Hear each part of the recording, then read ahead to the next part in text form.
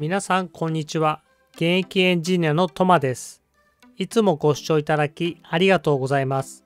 今回のテーマは Amazon で売られている激安の信号発生器の紹介です。信号発生器とは電子機器や回路動作の確認に用いる測定器です。信号発生器にもいくつかの種類がありますがこの信号発生器はサイン波三角波方形波が出力できます。一般的にファンクションジェネレーターという呼ばれ方もします。この動画では製品の組み立て操作性オシロスコープを用いた簡単な特性評価も行います。最後に注意点や私なりの改造方法についても紹介しているのでぜひ最後までご覧ください。それではこちらの信号発生器を開封していきます。同封されている部品を並べてみました。内容物を確認していきます。まずはマニュアル。そして基板。そしてケース、え、ネジ。次につまみ。ボリューム。電源コネクター。抵抗コンデンサー。端子台。ヘッダーピン。そして最後にこちらの半導体です。入っている半導体は1つみたいですね。半導体といえば最近こんなニュースがありましたね。半導体製造会社ラピダスを設立です。ラピダスとはキオクシアソニーグループソフトバンクデンソートヨタ NEC NTT などが出資して作られた会社で台湾の TSMC と同様にファンドリーつまり半導体受託製造を行うようです。電気電子に関わる一人としてこのプロジェクトの成功を期待しています。それではこちらの信号発生器を組み立てていきます。それではこちらの実装マニュアルを参考に部品をハンダ付けしていきます。部品をハンダ付けする順番としては背の低いものから実装するのがいいですね。例えばこちらのコンデンサーとかこういう IC のソケットがいいですね。この背の高い部品実装してしまうとこういう風に高く裏にねハンダ付けするときガタガタしてしまうので、こういうのは最後に実装するのをお勧めしています。それではやっていきます。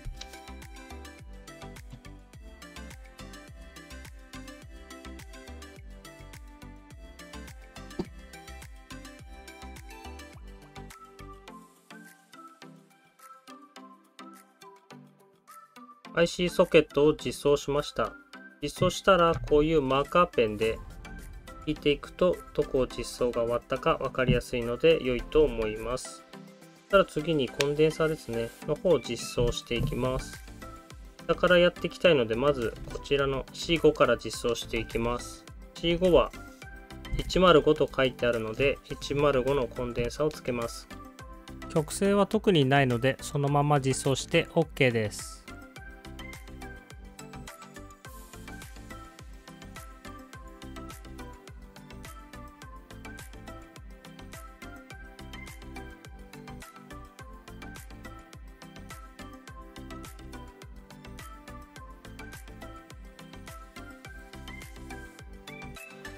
れでは次に電解コンデンサーを取り付けていきます。電解コンデンサーには極性があるので注意しましょう。こちらの白い線が書いてあるところをこのシルクの斜線部のところにやります。極性を間違ってしまうとコンデンサーが爆発する危険があるので注意しましょう。電解コンデンサーのハンダ付けが終わったので次に抵抗のハンダ付けをしていきます。まずは R1 を実装していきます。R1 の抵抗値は 1kg となってて場所はここになります。いくつかの抵抗が入っているのですが抵抗値がわからない場合はこのようにテスターですねを使って抵抗値を測定していきましょう。今こちらを測定してて 1kg になってます。そしたらこの 1kg の抵抗をフォーミングします。フォーミングすると綺麗に実装することができます。こんな感じでラジオペンチでフォーミングします。そしたらここに接続して、ちょっと合ってないですね。もうちょっと狭くフォーミングしないといけないみたいですね。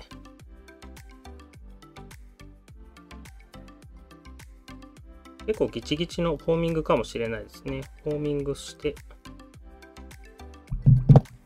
こんな感じでフォーミングします。そしたらここに入れていきます。で先ほど紹介しなかったんですけど、こういう掴むやつがあると非常に便利ですね。こんな感じで掴めてしまうので、ハンダ付けの時非常に楽です。結構力を加えてもですね、待ってください。これハンダ付けして、力を結構加えても全然下に行かないので、本当ハンダ付けの際には、これがあると非常に便利ですね。で、この、よいしょ、なかなか、よいしょよいしょと。はい、ハンダ付けきれいにできました。で、この商品はですね、ルーペもついてて、こういう感じで、ルーペを見ながら、あの、ハンダ付けもできたりするんで、非常に便利です。平行のハンダ付けが終わったので、次にヘッダーピンの実装をしていきたいと思います。これよく見たらですね、電解コンデンサーよりもヘッダーピンの方が高さが低いので、実装する順番としては電解コンデンサーより先にヘッダーピンを実装することをお勧めします。そしたら次にこちらの電源コネクタと端子台を接続していきます。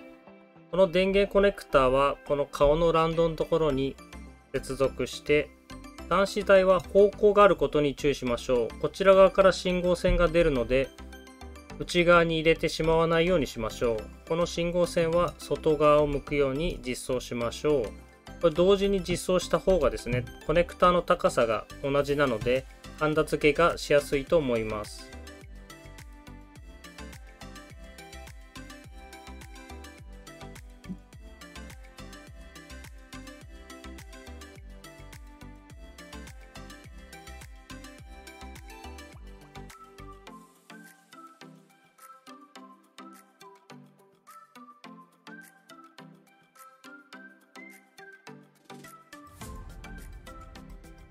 それでは最後にこちらのボリュームを実装していきます。R2、R7、R8 となってます。マニュアルを見ると R2 が503、R7 が503、R8 が104となってて、こちらの裏側にですね、E503 と書いてあるので、これが503になります。それぞれをこのように実装して、ハンダ付けをしていきます。3つ同時にハンダ付けするの難しいと思うんで、1個ずつハンダ付けした方がいいかもしれないですね。あ、やっぱちょっと難しそうですね。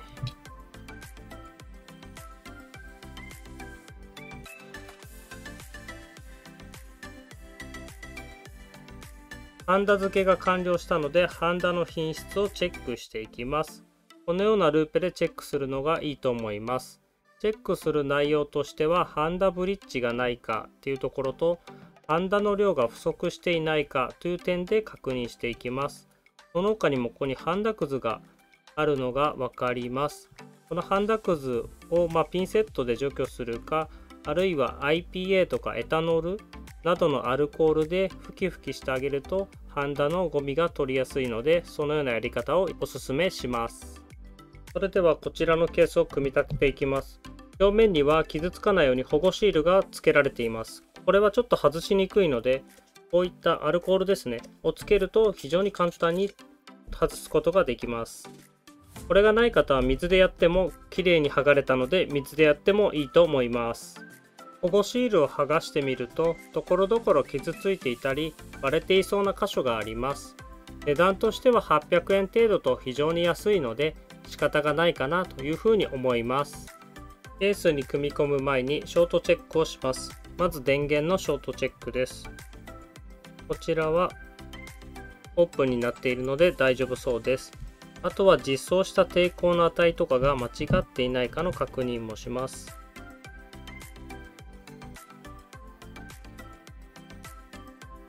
こちらは 1kg で問題なさそうです。それでは最後につまみをつけて完成です。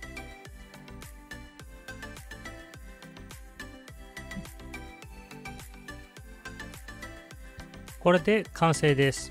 組み立てが完了したので信号発生器の評価を行います。最初に周波数が正しく出力されているか確認します。波形はサイン波1から 10Hz に設定します。このオシロでは低い周波数の測定は少し怪しいかもしれません。つまみは左から信号レベルの大きさ。真ん中が周波数の細かい調整。右は周波数を粗く設定できます。測定結果を表にまとめました。このオシロでは 3Hz 以下の周波数は正しく測定できなかったため 3Hz の測定結果を載せています。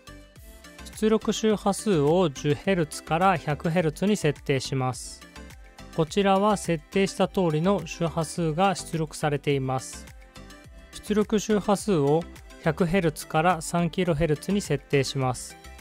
こちらも問題なく出力されています。次に出力周波数を 3kHz から 65kHz に設定します。この設定では出力周波数の下限値が 3kHz ではなく 3.08kHz になっているようです。3kHz が出力できない点に注意しましょう。最後に出力周波数を 65kHz から 1MHz に設定します。こちらも問題なく設定した周波数が出力されていますしかし出力周波数によって出力レベルに違いがあるようです 65kHz と 1MHz を比較すると 1MHz の出力周波数が小さくなっていることに気がつきます。サイン波の出力周波数と出力信号レベルをグラフにします。横軸は周波数、縦軸は出力信号レベルを示しています。出力信号レベルはデシベル表記になっています。デシベルについて詳しく知りたい方はこちらの動画を参考にしてください。概要欄にリンクを貼っておきます。この結果から周波数が 100kHz 以上から信号出力レベルが低下していることがわかります。さらに 1MHz では出力信号レベルが半分以下になっています。この信号発生器は出力周波数が高くなるにつれて出力レベルが小さくなる点に注意しましょう。サイン波と三角波の切り替えは青枠のジャンパーで行います。赤枠の直列抵抗で歪みを取る回路構成になっています。回路としては 330Ω の固定抵抗になっているため歪みの調整は行えません。こちらが三角波の評価結果です。50kHz 以下の周波数では三角波が正しく出力されています。300kHz ぐらいの周波数になると波形が変わり始めていることがわかります。1MHz ぐらいの周波数になるともはや三角波ではなくサイン波になっています。サイン波と同様に出力信号レベルの周波数特性をグラフにします。両者とも 100kHz 以上の周波数から出力信号レベルが小さくなる傾向は同じようです。方形波またの名を区形波について評価します。この解説では方形波と呼ぶことにします。方形波の出力電圧はこの端子台の真ん中です。左のつまみは信号出力レベルの調整用です。方形波出力の場合、左右に回しても出力電圧は可変できません。下限出力電圧は約 0.6V、上限出力電圧は IC の入力電圧である 12V より少し小さい値になるようです。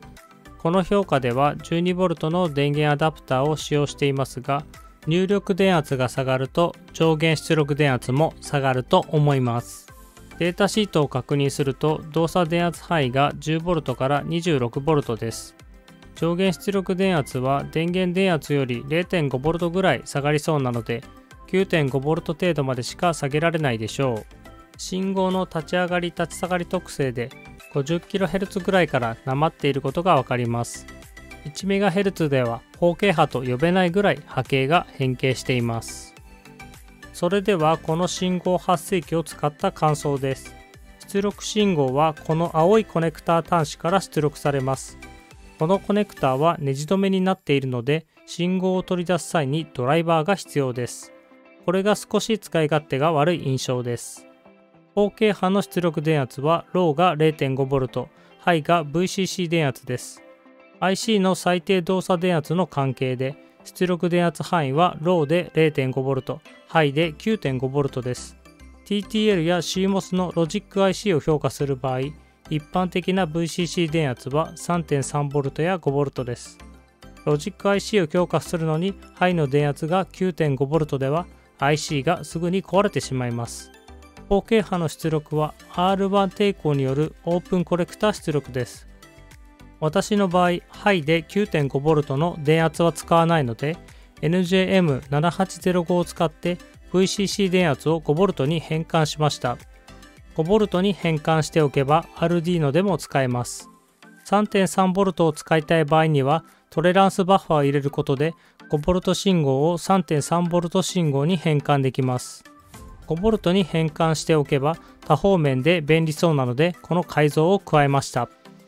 あとはサイン波、三角波の出力電圧調整ですが右に回すと電圧が小さくなって左に回すと大きくなります。右に回すと電圧が大きくなるように設計するのが一般的なので使っていると少し違和感があります。こちらもいずれ改造したいと思います。それでは最後にこちらの信号発生器で発せられる周波数を LED の光と音で楽しんでいきたいと思います。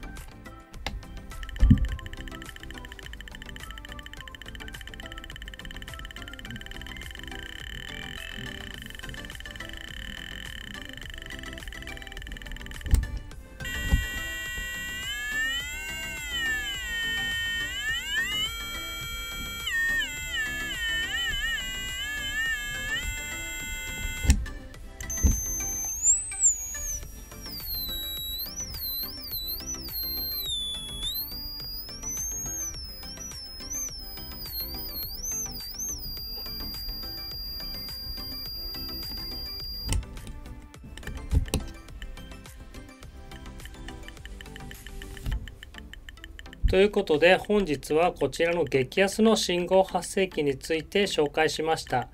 最後までご視聴いただきありがとうございます。この動画が参考になったよという方は高評価をお願いします。また、このような電気電子に関連する情報を配信していますので、気になる方はチャンネル登録をお願いいたします。それではまた次回の動画でお会いしましょう。またねトマチャンネルでは電気電子工学に関する様々な動画を配信しています。役に立ったらぜひチャンネル登録をお願いします。